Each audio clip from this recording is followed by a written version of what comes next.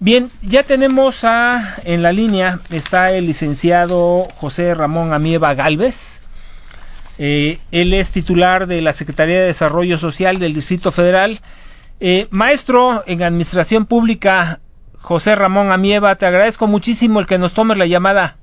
Al contrario, el honor es para mí y siempre un gusto. A la orden. Eh, para preguntarte qué pasó con este programa de los uniformes que ya se echó a andar, cuántos recursos destinaron y cómo podemos hacer los ciudadanos que hacemos uso de estas tarjetas para ejercer nuestro derecho.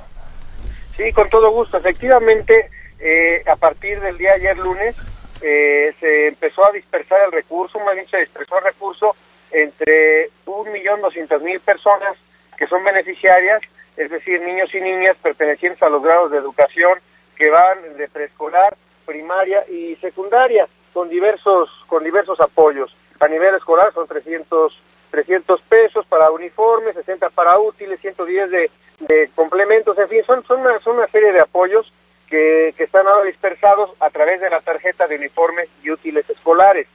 Eh, sería muy importante, aprovechando su medio, poder señalar que aquella persona que, no haya podido ocupar su tarjeta, es decir, que haya podido hacer sus compras y no, no haya pasado, por decir esta tarjeta, es porque probablemente no se haya activado. Y dar la página de internet que es www.uniformesyútiles.com. Entonces ahí estaríamos atentos para cualquier situación que tuvieran. Quiero señalar, si me lo permite, don Eduardo, que sí, ¿cómo casi 10.000 papelerías y tiendas de uniformes en donde pueden ellos pues ocupar esta, esta tarjeta. Pues ahí está, ¿no? www.uniformesyútiles.com Aquellas personas que hayan tenido algún problema, inmediatamente entrar para activar su tarjeta. Tengo entendido que van a dar 120 mil tarjetas más. Sí, bueno, eh, tenemos ahorita 120 mil y esperemos este, en los próximos, en, en el próximo año poder ampliar nuestro pues nuestro nuestro padrón de beneficiarios, nuestro universo de beneficiarios. En total qué se dieron casi un millón de tarjetas. Sí, sí, un poquito más de un millón, un millón ciento diecinueve mil seiscientas tarjetas. De estas eh, ya les depositaron, les empezaron a depositar a, las cuentas de las tarjetas para que puedan obtener el dinero sin problema, ¿verdad? Así es, este, ya, ya contarán y dependiendo obviamente de pues cuál es el nivel son 360 pesos para, para la primera dispersión para preescolar, 410 para primaria y 560 para, para secundaria. Que una inversión aproximadamente de 14, de 459 millones, ¿no? Así es, es una inversión en, ese, en esa magnitud, Eduardo, es una inversión importante. Ahora, aquellas personas que quieran conocer del programa, que no tengan la tarjeta o no se hayan podido inscribir, pero que pudieran ser acreedores, ¿cuáles son los requisitos que tienen que cumplir?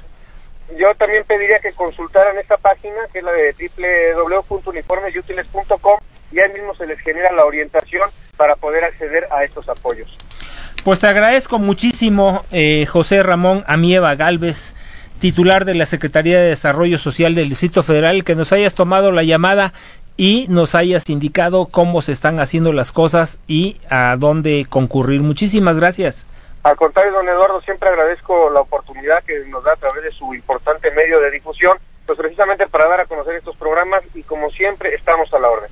Muchísimas gracias. Es el maestro José Ramón Amieva Galvez, titular de la Secretaría de Desarrollo Social del Gobierno del Distrito Federal.